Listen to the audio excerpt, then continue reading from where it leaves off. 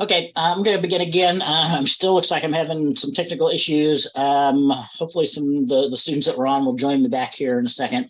Uh, I believe I had to reboot, but I believe I've got everything going. Okay, so um, let's let me go ahead and um, um, say again. So I did get back a problem set two uh, example solution. I, I returned back evaluations for people on that. Um, I wanted to just talk maybe uh, briefly um, uh, five minutes or so about the uh, the, the problem set questions. Uh, a little bit more about the second one, but uh, on the first one, um, I guess it was relatively fine. I, I guess most people, although a lot of people really could use. I mean, try and be better. You know, try, try and uh, if you're proposing a solution to make it clear what it is you're proposing. Okay, so so a common idea um, to fix this first problem is that um, um, you might put you might apply like a fixed penalty to the priority level for ready suspended processes. Like, like you might reduce their priority by two uh, if it's if it's currently suspended out. Okay, and then and then you would pick the process with the highest priority that's ready, uh, even if it's ready suspended, but after applying a, penalty that reduces, you know, thing that's suspended. Okay, another thing I probably should have mentioned this. I mean, a lot of people do seem to be unclear what suspending and unsuspending a process means. Okay. So, you know, everybody should understand the basic five states that, that our, our um, textbook talks calls the five state process um, diagram. So that that's that's really kind of the ready, running, and block. Those main three plus two extra states. So a state for uh, new processes that are entering um, and being traded and, and a a state for a process that's finished or done. Okay, that that's the basic thing that we're implementing in our second assignment here is, is those five sort of main states. Okay, but operating systems can um, uh, do this thing to processes that we call suspending the process or swapping it out. Okay. Um, what that means is that, um, and oh, and if I can pause here, is my um, audio sound okay again here? All right. Yeah, sorry about that. It looks like I'm still going to be having technical difficulties here. I basically restarted, um, but uh, but yeah, I'm, I'm, just I'm back to kind of where I was talking on problem set two here. So um, if if you're not clear what suspending or swapping a process out is, uh, you ought to go back and review that um, on uh, chapter three here before our second test. We'll review it before test two here. So. Uh, suspending or swapping out a process um, is done whenever the operating system, uh, whenever memory is kind of overloaded. So, so memory is, is one of the primary resources that's needed for programs to run efficiently and well in an operating system. And if it becomes too loaded, so there's more demand for memory than you actually have memory on the system, um, modern operating systems will uh, do what's called suspend a process or swap it out. Okay. What that means is the, the process is completely removed from memory. Okay. So the, the process is still entered in the process control block, but any memory that was allocated for it for its code and its data to actually run gets deallocated so it can be used by other processes. So that's what suspending a process means, right? So, so that frees up memory so that other things can run. But that's why it's it's, it's expensive to um, select a process that's suspended to become the next running process because you can't just simply give it control of the CPU. You first have to load it back into memory, which means you first have to reallocate memory and then load its code and data uh, into that allocated memory before you can start running it, right? So that that's the core of the problem. And you know, I think some people are still kind of fuzzy what it means to suspend and unsuspend a process. So anyway, so think about that. Um, and I did want to mention something, uh, discuss a little bit about the second question for the problem set here. Um, oh, and, and if I can, I kind of want to try to, sh to show this. Uh, so uh, th this question is important to understand uh, for our next unit. This, this is setting up setting us up for when we talk about concurrency um, and issues in concurrency. Okay, so most people, but maybe not everybody, weren't quite understanding the interference or, or, the, the basic problem that's occurring here. Okay. So I described this in the example solution. So uh, what happens here, one, one reason why it happens reliably in this code is there is a difference in how the thread function increments my global versus how the main function, the other thread increments. So the, the main function reads out my global, adds one and, and writes it back in immediately before sleeping but the thread function reads out the value of my global into a temporary variable, increments it, but then doesn't update it till after sleeping, okay? So here's typically what happens. Let's say my global is currently has a value of five, and let's say the, the thread function is running. So at that point, um, it would read out five into J and increment J by one. So now J would have six, but then it would sleep. So remember, my global is still five, but J has a value of six here right? It hasn't updated the increment yet. So uh, if we sleep, and remember another thing I, I talked about on Tuesday uh, or on Monday um, is sleep is basically a mechanism for causing a process to become blocked. So this process will be, this thread will become blocked, which could very well allow the operating system to select the other thread and start running. Okay, so if the other thread starts running, it would execute this code where it would read out the value of my global, which remember is still five, add one to it and write it out. So now my glow, it would successfully write it out. My global would have a value of six. Um, um, and then it would also get blocked. Okay. And then we could very well then switch back and start running this process. But remember, when we switch back, when we unblock this thread, um, um, the only thing it has left to do t- uh, for its attempt to increment my global is to write J back out there. But you know, my global has six from the um, the read, add, and write back um, from the main loop, but J also has six. So we end up just writing six again over my global. The, the effect is that we, we lose one of the increments because of the delay between reading the value and writing the result of our work back out there. Okay, so that's fundamentally what's happening here. All right. So you will find and and yeah, I, I actually kind of want to run this, um, spend a few more minutes on this. Um, so you will find, let's see if I still got my problem set two container. Let's start that one running.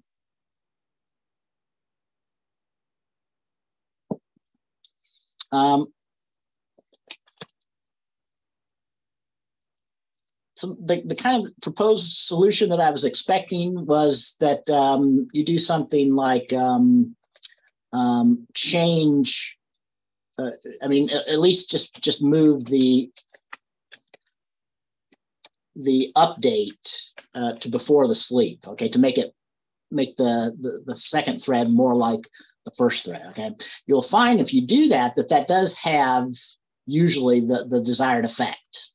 Um, because we give less of a chance for the the um, program to you know to be interrupted um, and the operating system to switch over to the other thread while we're doing the update if we do it like that right? So if we change that and rebuild it so that our uh, thread function is doing the update before uh, it blocks itself um, and then we run it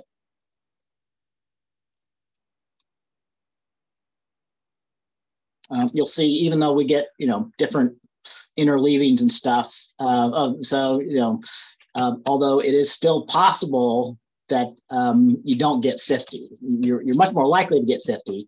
But so so what I was working up to, so there was an ex- one example of that. There is that um, um, it is possible to be uh, still that the operating system uh, forces like times out the um, um, this thread in between reading the value in, incrementing it, and writing it out. So if we again, if we get interrupted in here, not because of a voluntary block, but involuntarily, like like we this thread just gets timed out, you can still get a, a non 50 result. Okay, so you might say, okay, well, I mean, can we make this uh,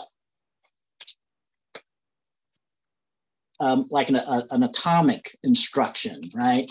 So what if we were to just directly increment my global and, and I could even change that in both places, right? And we'll rebuild it.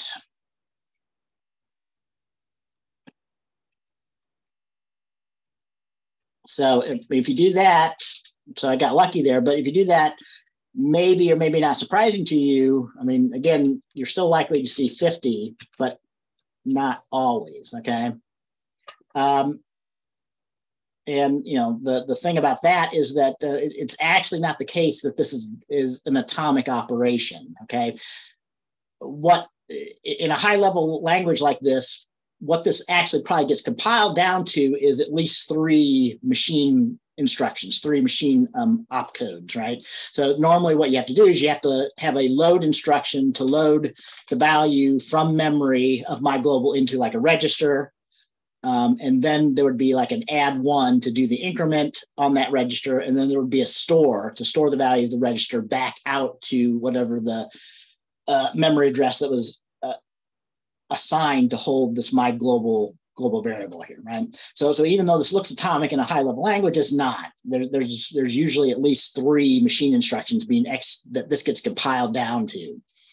Um, so the fundamental problem remains, even if you're not doing any sleep at all, um, that um, um this code is inherently unsafe. Although this this makes it much more unlikely if you make um, if if you modify both the threads so that they're doing their updates uh, before, not not not while they voluntarily sleep. Okay, that that I mean that that's kind of a big issue here. That the way this was originally in the thread function, since it waited so long, since since it actually didn't perform finish up its work till after it returned from being voluntarily blocked, um, it's much more likely that the other thread would run um, and uh, do some work while it's in between trying to do its work while, while, while it started doing its work but hadn't finished it up if that makes sense all right? Um,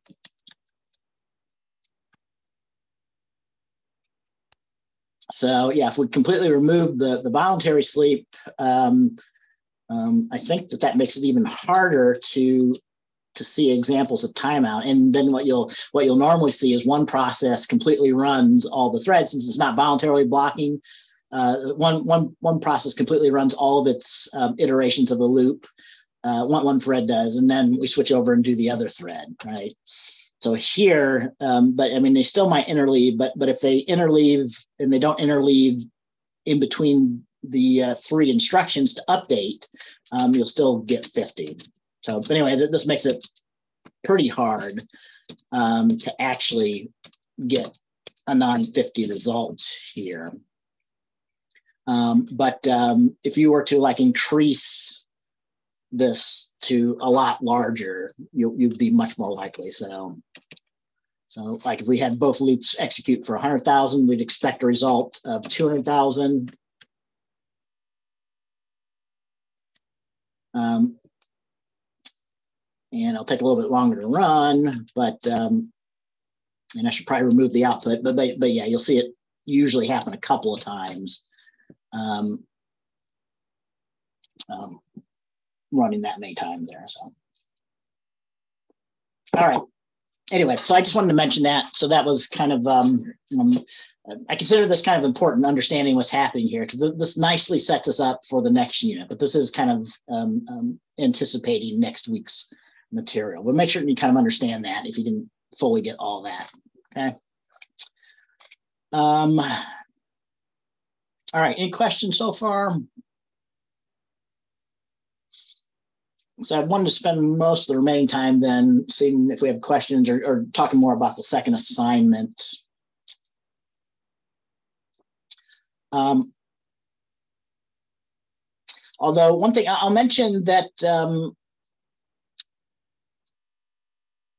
there were some lecture videos about using standard template library classes that people may or may not have found. Um, I think probably under um,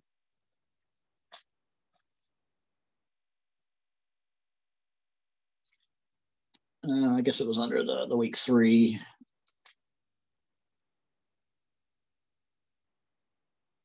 Uh, yeah, I did. I did have some video, some videos where I discussed the programming science, maybe a little bit dated, um, and also uh, discussed using uh, standard template library lists to, to act as, as um, stacks and queues. Okay, um, if um,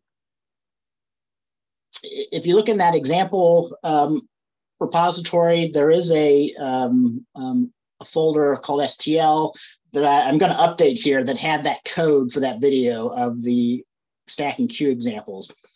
Uh, but um, I wanted to I, I, wanted to add to that maybe real quickly because uh, I actually added into this assignment for for this class. Uh, we, we use maps, um, which are, um, if you're familiar with other programming languages, th these maps are basically uh, what are called dictionaries or key value pairs or hashes um, in other languages sometimes. Um, I didn't have examples of, of doing kind of maps, but let, let's let's let me see if I can real quickly maybe um, and I'll, I'll, maybe I'll push this to the code repository if it might help any help people. Um, but uh, let me add a new example. Let's let's just talk five or ten minutes about uh, this map, these map data types. So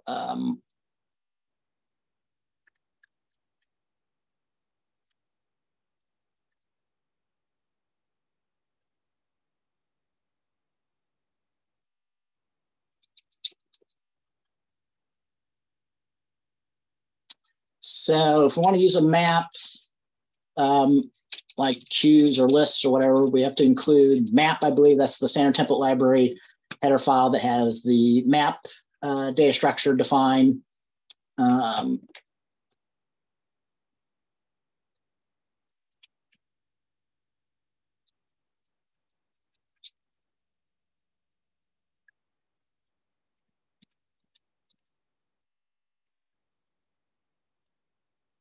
let me just get this so it's building here. I need to add it into our make file. Um,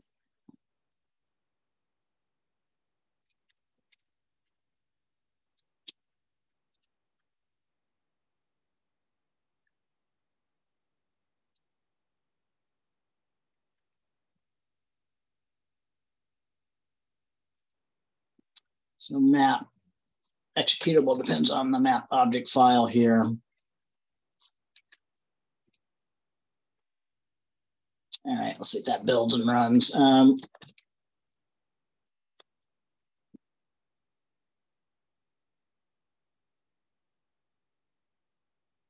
uh,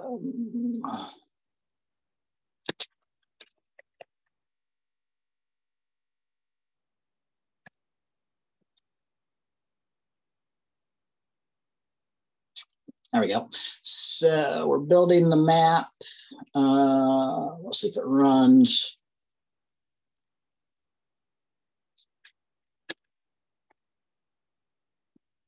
All right. So let's let's just show some quick examples of using the the map um, um, uh, you know dictionary data structure here. So uh, I've shown this before. You know, I recommend um, C++.com for um, um, uh, standard template library documentation. Uh, it's usually the first one that comes up if you kind of search for STL, some data type in STL. Um, so map is uh, another name for this is an associative container. Okay, so you know um, most of those examples in the other uh, lecture videos kind of came from examples from this documentation. So for example, if we want to construct a map, um, we can look at um, the um,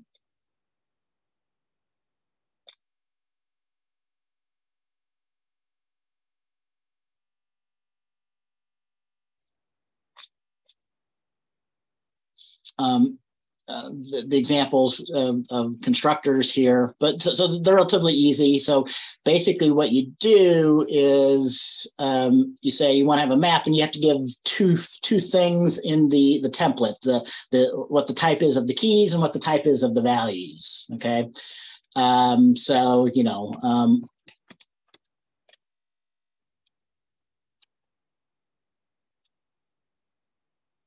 um, so if we wanted to map from um, ints to strings, we could create a map called uh, uh,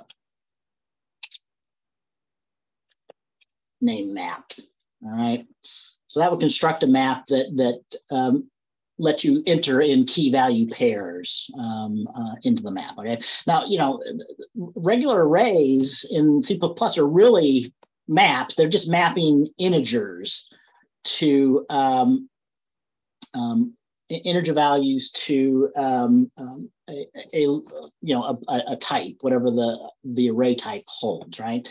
Um, so you can do that with the map. Like like since I'm mapping integers to strings, um, you can use a map pretty much in the same way. So if I wanted to use this to map, say, let's say the integers represent um, social security numbers. So um, like maybe my so or my my ID number, whatever it is, is one two three four. I can map that to um, a string in this case, since the, the mapping goes from keys to values, right? Um, so you know you can use. I saw some people were using the um, insert. Um, um, member function. So you can use the insert member function in the same way. Um, so yeah, some people were were trying to, I guess we're doing it from the example here. Um,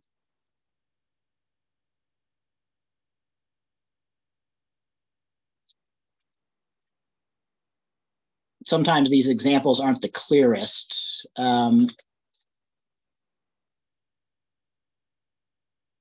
so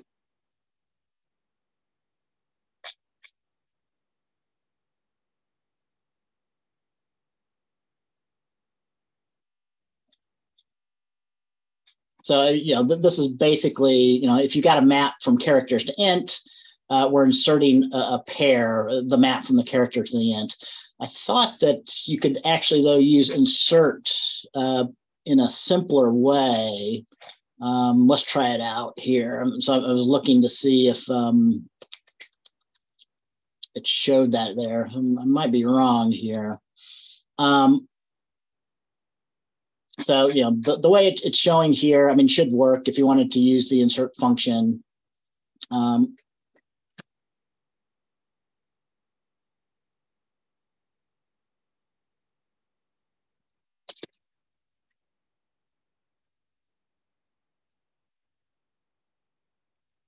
So um, I, I, probably should have shown, you know, um, um, to show that this is actually working here. Um,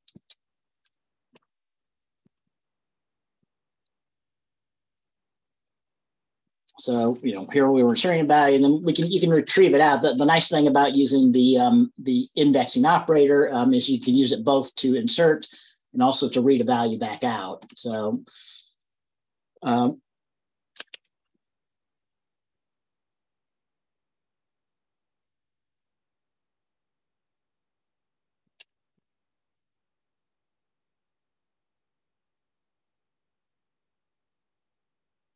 like that. So it should work.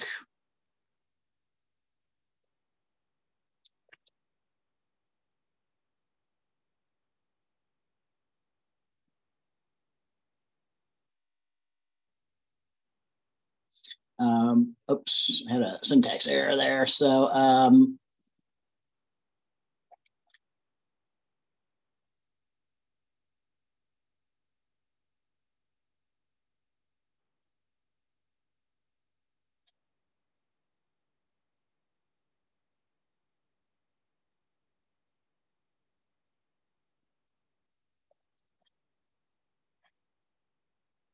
So here we're uh, creating a map between ints and strings. Uh, you should only have to include the, um, I, went, I went, went ahead a little bit too fast there. So you should only have to include the map container to do that. Um, and I'm, I'm using that using namespace std, so I shouldn't have to do the std colon colon in front. Um,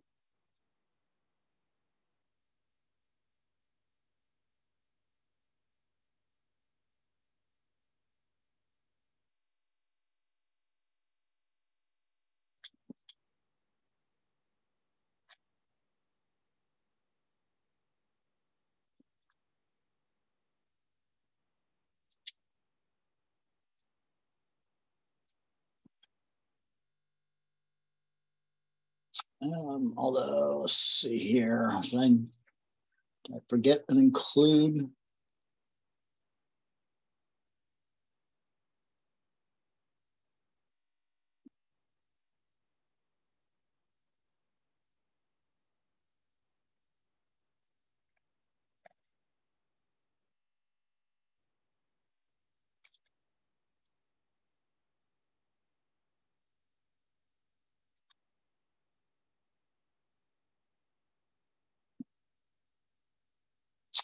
Uh, yeah, so.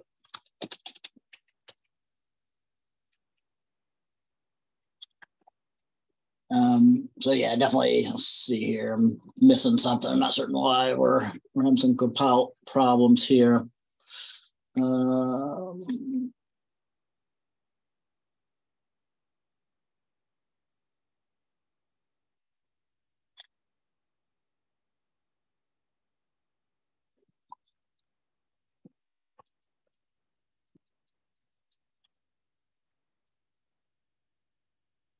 So when in doubt, let's back up here. So this did work.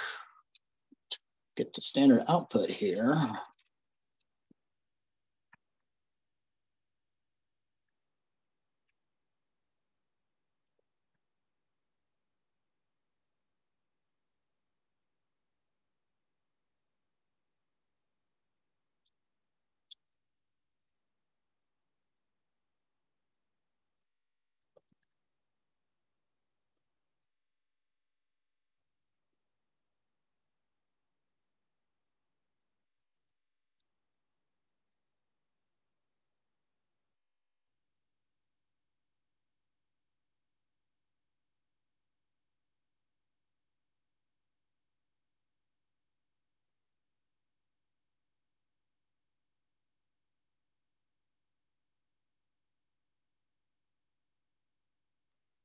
Uh, I must have a stray character in here somewhere. I don't know what I did.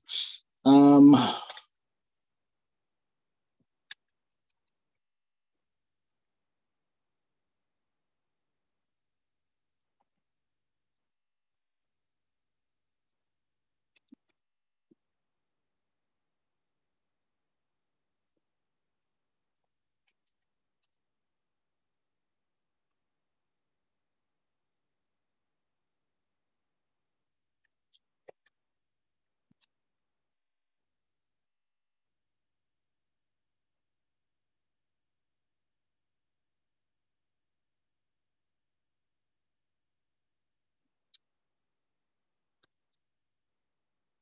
all right, just give me a second. Let me, let me just restart that there.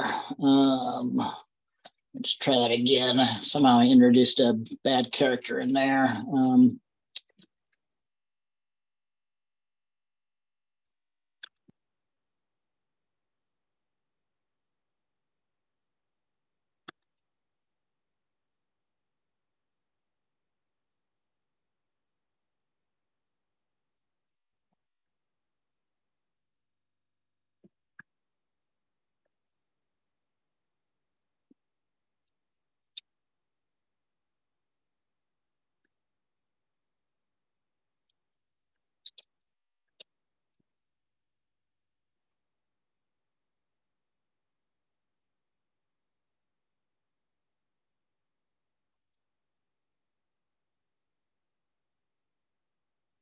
All right. Um, yeah, I'm not completely certain what I did there, but um, let's see.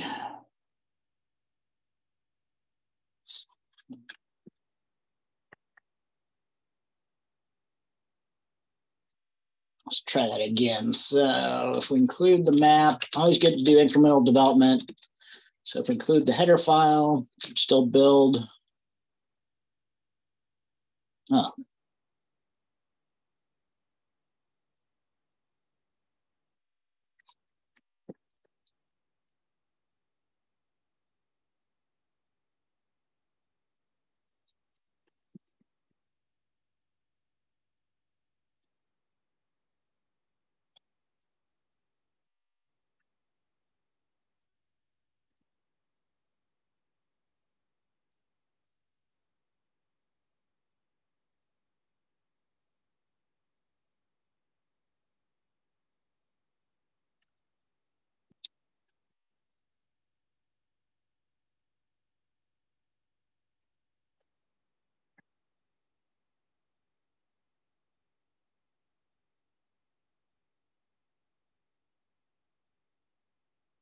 Okay, well, I'm gonna have to move on. Yeah, I, I'm not certain what's going on there. Um, I'll get that fixed and figured out. Um, so I'm just gonna have to talk through some examples here, unfortunately.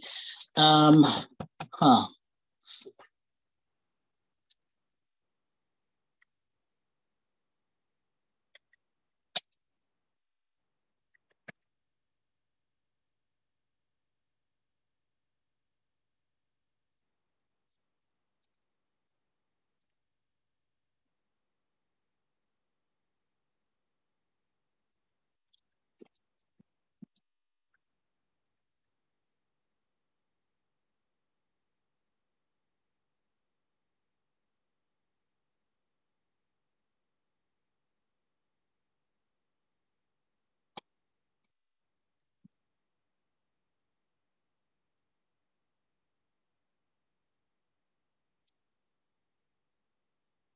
All right. Oh, yeah, I don't know what's going on there. Um, we'll have to just skip over that. Every time I try to include map, now I'm getting that. Uh, maybe if I restart my container, I might redo anything.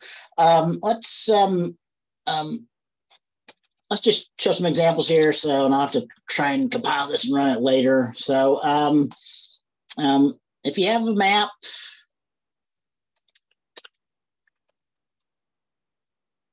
you should be able to create a map like I showed uh, between any two different types, like from an int to string.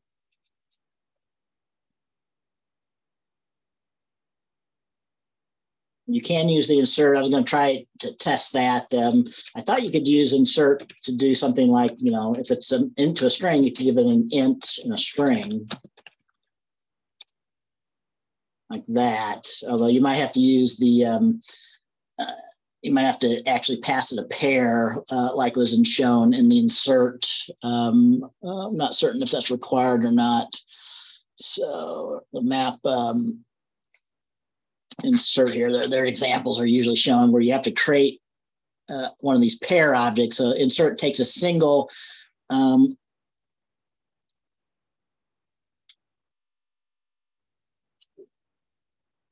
uh, a single pair object to insert a, a, key value pair in there. So, but yeah, the, the, the pair object that you create should be of the same type as your map. So like a character and int. So in our case, um, um, assuming you have to do it this way, we'd have to um, give it a, uh, so, so, yeah, if this doesn't work, where you can just pass in two parameters, which it might not for insert.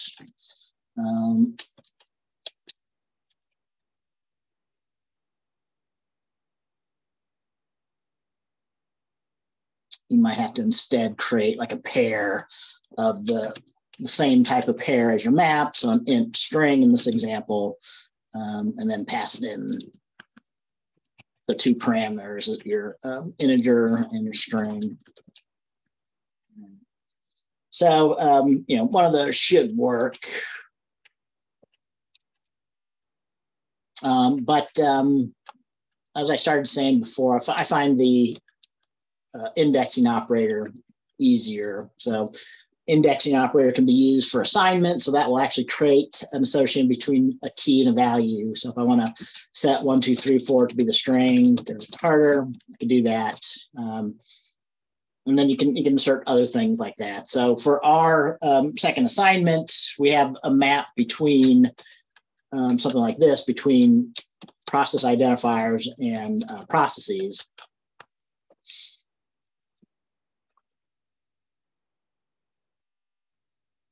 Right? Where, or where a process identifier is just a typed a, a name for an integer. So process identifiers are really integers, zero, one, two, three, four, five. Um, and process, though, is, is an actual uh, process object. Um, um, uh, an instance of a process object here. So, um,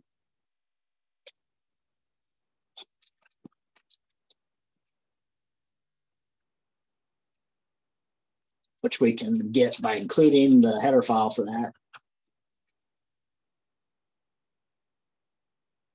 Right. So, you know, um, if you have that, you know, it can work in the same way. So, you know, um, if I if I create a new process, um, where processes, you know, so here's we have you have to use the header file to know how to to actually use a process. So a process has two constructors. One creates kind of like a, a, default process, but the, the other constructor is the one you normally need. This creates a process that starts off with a particular process identifier and a particular and, and the, um, the the time when the process was created in the simulation. So um, so that would be the one that we would normally use, like in our new process, um, um, our new event function, which is like the second task that you have to do for the assignment um, where you would pass in, you know, so if I'm trying to create process with the process ID of five, I'd, I'd, pass in the process identifier as the first parameter for the constructor um, and the current system time, which is a member variable of our um, um, in our assignment two, the system time is a is a member variable, but here I'll define it. So if it turned out that we were creating a, a new pro, a new process number five um, at time 20 in the simulation, you need to pass in both of those to create the new process. Um, but then you can get that into the process control block.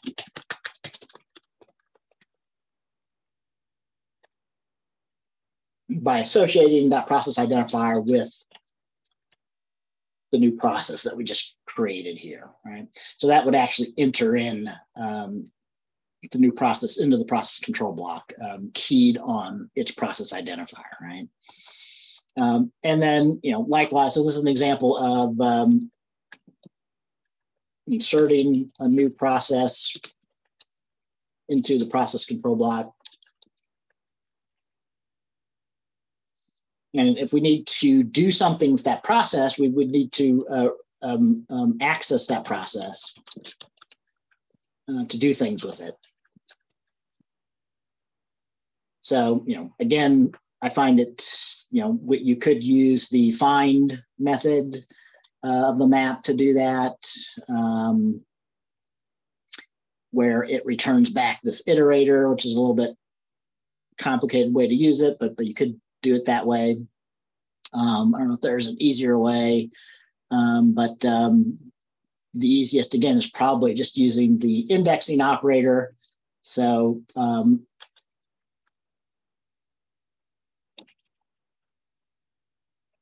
So if I needed to make process 10 ready and I had the process ID in a variable called some PID,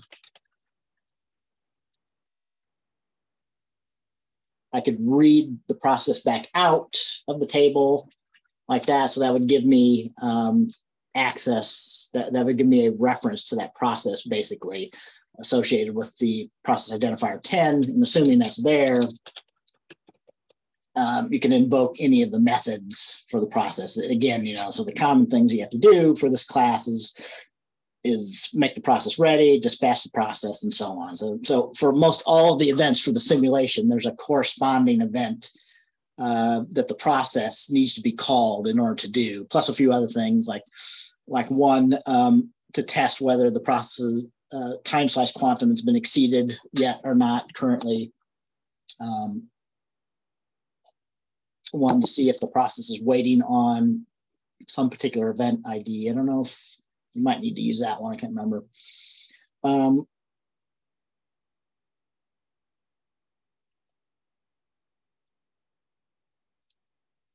but yeah, anyway, so those are the basic things of using the map.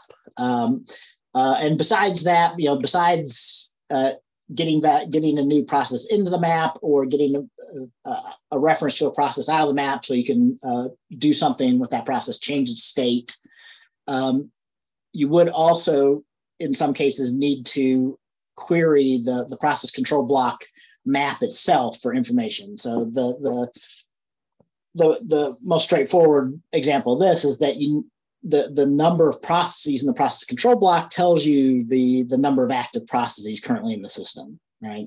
So, um, you know, so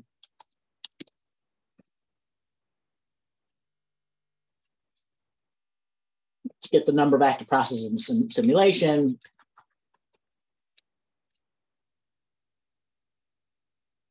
We would ask the process control block itself directly. So notice we're not using the, when you do the indexing operator, it pulls out the value associated with the key that you give. But, but if you just ask the process control block itself, um, you can send it member functions as well, like insert and find, but one of them is the size. Um, so the, the size of the process control block um, simply returns back the number of key value pairs. You know, so basically that would be the number of processes that we've inserted into our um, system currently, right? Um, so that's the number of active processes would be the process control blocks size, basically. Um,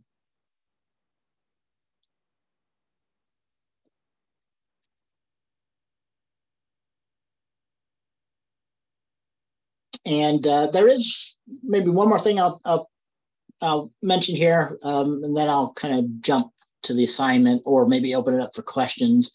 Uh, but um, at the end, one of the, the last tasks, when a process is finished, you really do need to get that process out of the process control block so that, you know, for example, that the number of active processes then is correct, right? So um, remove removing items, um, again, there's no real um, um, straightforward. Uh, what, what you would normally need to do to remove an item is um, um, use the what the erase, uh, but erase doesn't take like um, um, a, a, uh, particular um, key. It takes an iterator. So you first have to use find to get an iterator and then erase it. Um, um, that would actually remove the key value pair from there, right? Um, but I mean, you know, so but but yeah, a two-step sequence like that works, or you can even just combine that into one, I believe. So um, so if I wanted to remove process uh, 15 from the process control block, um,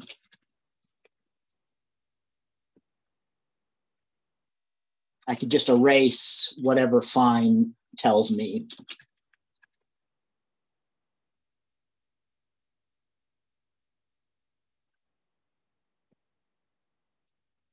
like that, right? So, so calling find would return the iterator that erase needs to, to remove that, assuming that process process identifier 15 is in the uh, the process control block uh, key value pair mapping. So, um,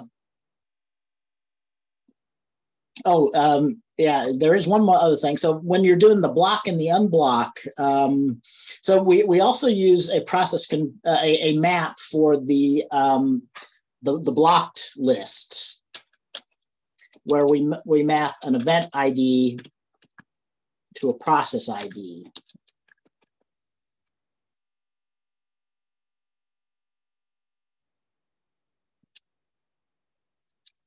So uh, that map is supposed to be keeping track of, of which process um, is blocked waiting on a particular event.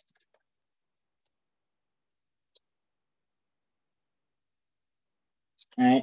So, you know, so this works kind of the same way. I mean, you can use the indexing operator. So if, if we're told that, that the, and, and the process ID is going to be, um, you know, we're going to call the block um, event when a process is running.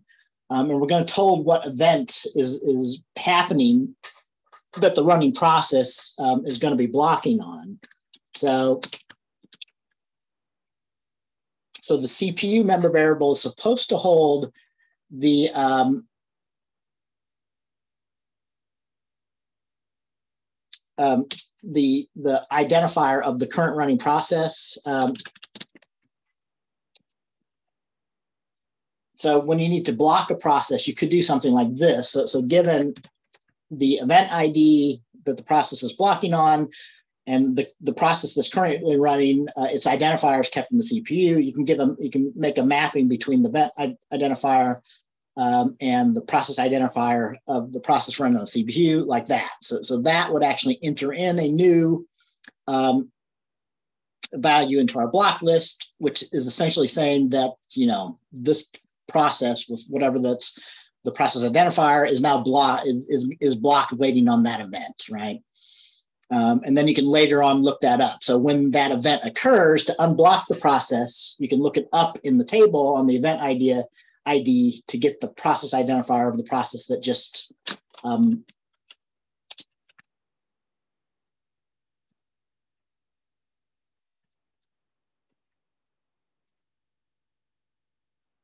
So we can do the reverse to look the uh, process identifier back up uh, for the event um, for the process that's waiting on that particular event identifier, right? And then once you have that process identifier, you could look it up in the the the, the table again, whatever you need to do with it, like.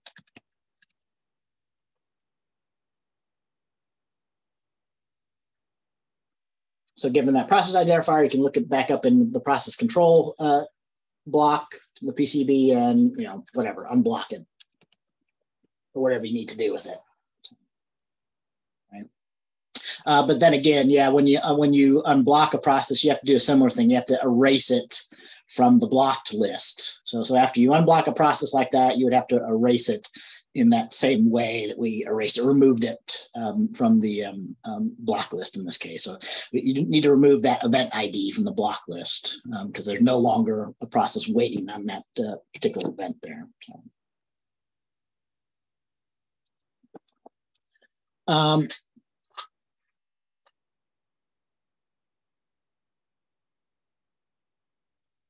All right, so that's a lot of hints, and, and, like I said, I'm gonna I'm gonna get this working here, and I'll post this um, um, after the fact in case anybody wants to see the code. Although, yeah, I didn't do a lot of code here, so you can probably recreate this on your own. Although I have to see, I'm not, I'm, I'm still not certain why what happened, but maybe if I just restart my container, it'll clear up whatever problem it was having here with building this. So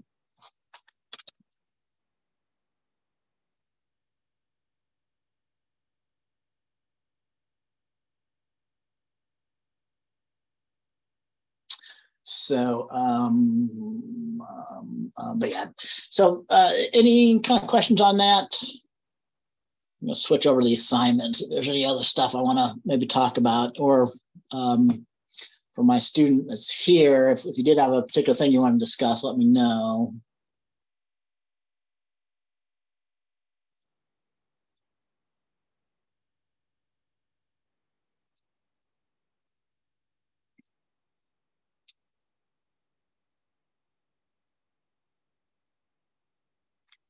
So um, let me just you know say one more one or two more things, and then uh, maybe we'll go through the um, um, assignment description again. Oh, and there I, I, wanted to discuss just a little bit the system test at the end as well. Um, so uh, kind of back to the actual assignment. So, so again, kind of looking at the process simulator. Um, things we were just talking about were you know these two maps in here that you need to use um, so when you're creating new processes, getting those in there, um, or um, when you're working on the blocking and the unblocking, you need to use the the block list. Um, so, um,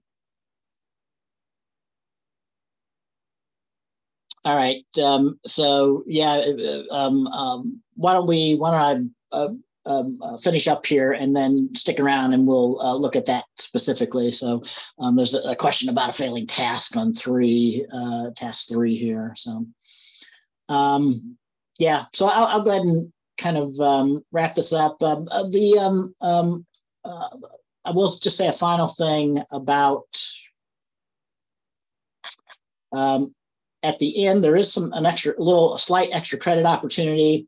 Um, so I should show this more. I mean, the whole purpose of these simulations for this class is to actually build a command line tool to run the simulation. So once you get like all of your eight tasks working for this assignment, you won't actually be able to, to pass the, the system test. But once you have these all working, um, uh, you need to um, actually uh, uncomment some things and run simulation. Then you should be able to run actual simulations yourself from the command line using the command line tool. Okay.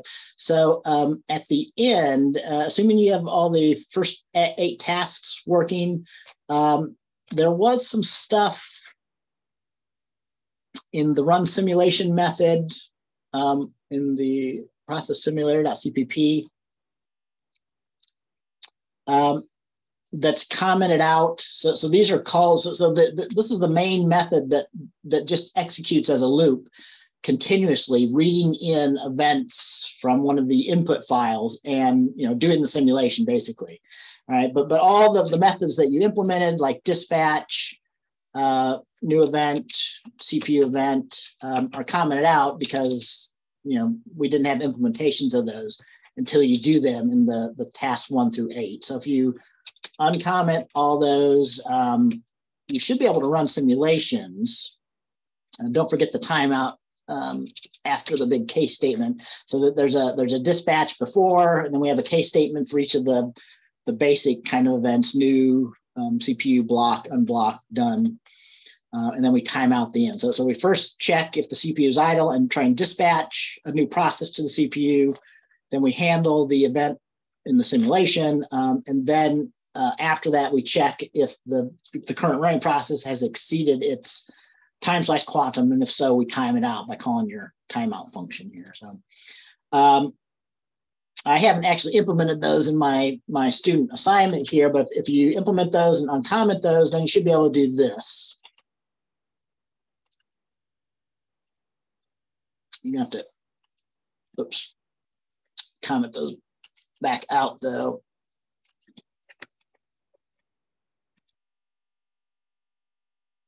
So when you do a build, um, yeah, my, my current state is not building because I've got um, some things not implemented, new event. Um,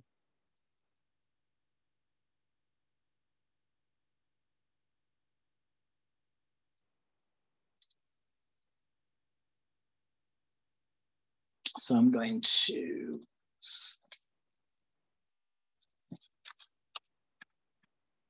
back off, kind of get rid of these uh, tests here.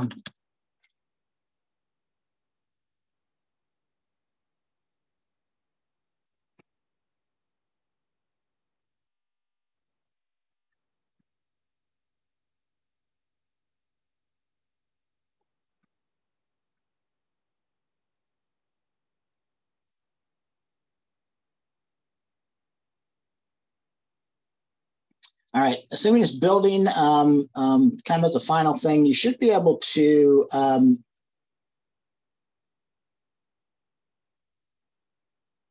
run simulation. So since I don't have everything completed yet, these won't work. But but one of the things that's created as part of the build process is another executable. So the test has all the unit testing that you mostly work with for the task. The, the sim is the, the actual thing that we're trying to build um, for all these assignments for the class. All right, so this this is built as a command line tool.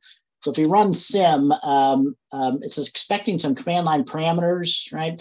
Uh, and if you're curious, you can see uh, the the, um, the main function for the sim is in the assignment to sim.cpp, right? So basically what main does is it checks that you give exactly three command line arguments, right? So it's expecting three, where the name of the program is the first command line argument, but it's expecting two more, right? So if you don't give exactly the, the command line arguments expected, it prints this usage message, right? But yeah, so to run these, basically all you have to give is um, the first command line argument should be um, the, the time slice quantum that we're going to use. So we typically use like five as our time slice system time slice um, maximum before we time out processes. And then the second parameter is the name of the input file um, that you want to run the simulation on. So those are all in the sim file subdirectory, like um, like process event 01.sim, one of those.